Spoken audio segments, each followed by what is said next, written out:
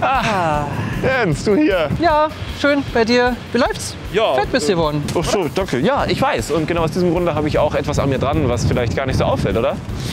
Du meinst das Jawbone Up?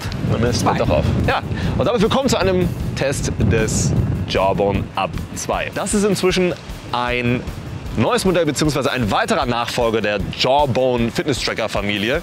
Noch vor dem 3, der bei der, bald rauskommen soll. Und das ist der Nachfolger vom Jawbone 24. Der war ein bisschen spätiger, ein bisschen größer, ein bisschen dicker.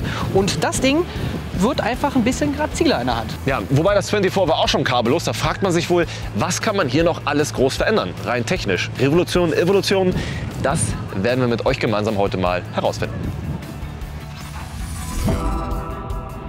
Optisch orientiert sich das Jawbone Up eher an den Vorgänger. Es ist ein bisschen dünner, ein bisschen schmaler geworden, hat aber die gleiche Technik verarbeitet. Ähm, Im Endeffekt ist es ein kleiner, dünner Gummireifen mit einem Touchfeld und einem sehr, sehr friemeligen Schließmechanismus. Also Touchpad, das bedeutet übrigens, über die Touch-Funktion kann man eben Jawbone Fitness Tracker typisch zwischen Schlaf- und Aktivitätsmodus hin und her schalten. Die blaue LED für den Schlafmodus und die rote für den Aktivitätsmodus. Die Akkulaufzeit liegt je nach Nutzung bei 7 bis 10 Tagen. Der Jawbone Up 2 ist innerhalb von anderthalb Stunden voll aufgeladen und der proprietäre Anschluss lässt sich leider nur auf einer Seite anstecken. Eine beidseitige Lösung wäre da eigentlich schon noch wünschenswert. Ah, irgendwas ist ja immer. Ja. Das Jawbone Up ist spritzwassergeschützt. Ihr dürft damit also gerne unter die Dusche, aber nicht in die Badewanne und den Sprung in die Elbe, den würde ich dir auch nicht empfehlen, Alex. Ob du jetzt unter der Dusche warst oder ein bisschen schneller laufen konntest, deine Kalorien musst du auf jeden Fall irgendwie wieder auffüllen. Ja, da bietet sich so ein Eis natürlich super an. Aber damit man weiß, wie viele Kalorien man zu sich nehmen muss bzw. verbrannt hat, funktioniert ein Fitness-Tracker natürlich nicht ohne App. Und die App gibt es für iOS bzw. auch für Android, die Jawbone-App, aber nicht zu verwechseln mit der alten Jawbone-App, die genauso heißt, auch Up. Das heißt, ihr müsst beim Download schon mal gucken, welche App ihr im Detail da herunterlädt. Wir haben nämlich zwei unterschiedliche Farben.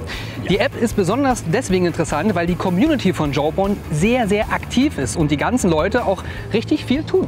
Ganz genau, richtig. Und apropos Community. Das heißt, wenn ihr euer Workout gerade erledigt habt, könnt ihr euren Freunden zeigen, wie lange ihr gerade gelaufen seid, beziehungsweise welche Wegstrecke ihr ähm, mittlerweile geschafft habt. Und im gleichen Zuge auch sagen, schaut mal, liebe Leute, ich esse gerade folgendes Eis, damit ich nicht vom Fleisch falle. Und äh, ergötze mich gerade dazu äh, in der Sonne und entspanne. Und machen jetzt mal ein Foto. ja, sicher, natürlich. Also, das ist nämlich ein Vorteil dieser App, dass man eben all die Aktivitäten, tatsächlich all die Aktivitäten, die man eben mit seinem Körper da veranstaltet, im positiven oder auch negativen Sinne, loggen kann, mit der Community teilen kann und im Nachhinein nachvollziehen kann, was man da überhaupt so verzapft hat oder Gutes getan hat für seinen Körper. Schöne Sache. Absolut. Du hast übrigens eine E-Mail. Hm, oh, danke. Ganz sportlich muss ich mich jetzt schon verabschieden, denn die GDL streikt ja und ich muss meinen Zug bekommen. Bitte schön, viel Spaß beim Fazit und noch so weiter. Bis bald. Tschüss. Aber na gut, insgesamt lässt sich sagen, der Up 2 von Jawbone ist definitiv ein solider Nachfolger der bisherigen bekannten Fitness-Tracker-Reihe von Jawbone. Unserer Meinung nach wird es spannend, beziehungsweise können wir es auch nicht mehr wirklich abwarten, bis es denn offiziell ab Mitte 2015 auch bei uns endlich in den Läden verfügbar sein wird. Und bis dahin heißt es also fleißig schon mal die richtige App herunterladen und warm machen, damit die Trainings mit dem Jawbone auch nicht zu schmerzhaft werden, im blödesten Falle. Hm.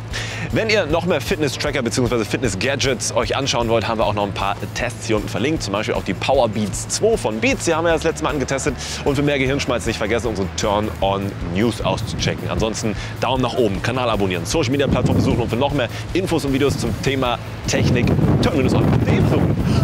Und ich will mal gucken, ob ich jetzt einhole und ihn dann auf der Teamliste Platte einschlagen kann. Und los.